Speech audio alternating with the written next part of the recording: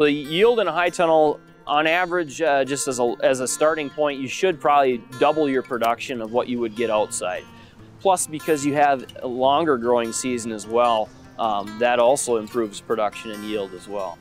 The most common types of irrigation would be a drip irrigation or micro irrigation system. A drip tape's going to have an emitter every anywhere from 6 to 12 inches normally and you'll have a drip tape per row or a couple of them per bed if you've got a bed system inside the high tunnel. The pest management's interesting because it will reduce uh, some pests and some diseases, um, but it will also, some diseases and pests that you end up uh, not having outside as much might be more of a problem inside.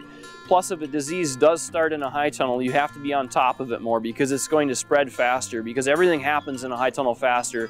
Not only the plant growth and the production of vegetables and fruit, but also pests and diseases. Because, you're, because it's hotter, because it's more humid, uh, things are going to happen faster. If managed properly, you'll also build soil health faster as well. So less tillage, maybe a cover crop, making sure you're growing crops season long or as, as long as possible um, adding compost or residues to provide um, replenishment of the organic matter.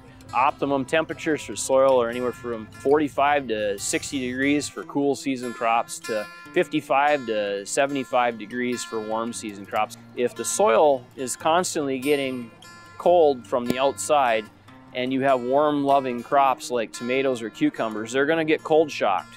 Even the roots will, and they won't do, perform as well, even if the air temp is uh, warmer. As it is a season extension uh, part of our programming now, we'll be able to obviously grow food um, earlier in the season and kind of later on. So being able to keep management up for production as long as we can. And then throughout the winter, um, just being able to monitor and maintain um, the high tunnel with snow loads and wind and just being able to really understand how it does at this site since we know that every site is unique for how you kind of have to manage.